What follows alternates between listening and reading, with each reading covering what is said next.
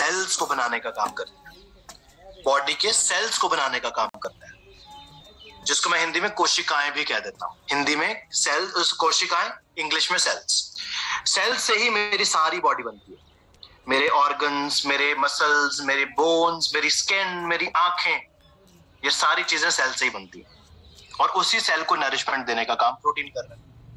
But वो पूरा नहीं हो पाता हमारी बॉडी के अंदर, क्योंकि इतनी ज़्यादा मात्रा में हम खाना खाते ही नहीं है कि पूरा हो पाए। इट्स हंड्रेड परसेंट वेगन ठीक है? और उसी के साथ साथ 10 ग्राम के स्कूप के अंदर 8 ग्राम प्रोटीन है और वो सारा का सारा हमारी बॉडी के अंदर डाइजेस्ट हो जाता है, कोई दिक्कत नहीं आएगी।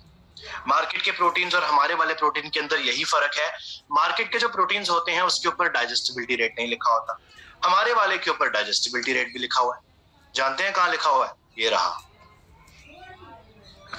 वी हैव अ पीडी का स्कोर वन मतलब protein digestibility corrected amino acid score one है, जिसका मतलब क्या होता है? This is the highest possible score that the protein powder can give to our body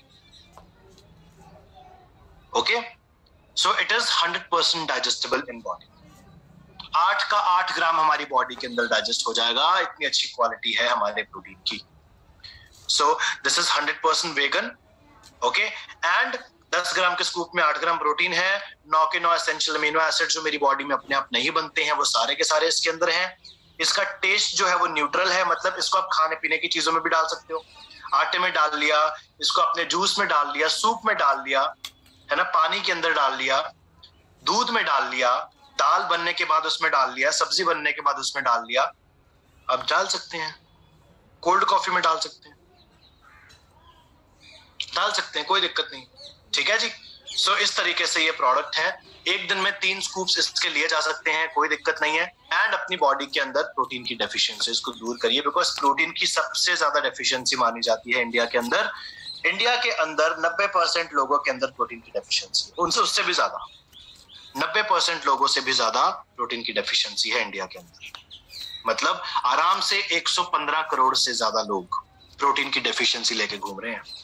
और अगर प्रोटीन की डेफिशिएंसी बॉडी के अंदर होगी तो फिर बॉडी की ग्रोथ एंड डेवलपमेंट बॉडी का इम्यून सिस्टम बॉडी का डाइजेस्टिव सिस्टम बॉडी का respiratory system circulatory system nervous system body का हर एक सिस्टम उतनी एफिशिएंसी से काम नहीं कर पाएगा जितनी एफिशिएंसी से वो काम कर सकता है।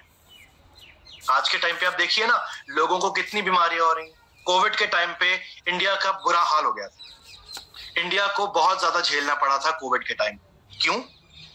क्योंकि लोगों को इम्यूनिटी की कमी है इम्यूनिटी की कमज़ोरी है, और वो भी कमज़ोर हो सकती है। अगर आपकी बॉडी में वाइटामिन सी अच्छी मात्रा में जाता भी है ना बट प्रोटीन अगर अच्छी मात्रा में नहीं जाता तो इम्यूनिटी कमज़ोर हो सकती है। मार्क माई वर्ड्स ठीक है जी? तो इसी तरीके से प्रोटीन की डेफिशिएंसी हो सकती है, और प्रोटीन की डेफिशिएंसी क्या क्या कर सकती है, वो मैंने आपको बता दिया।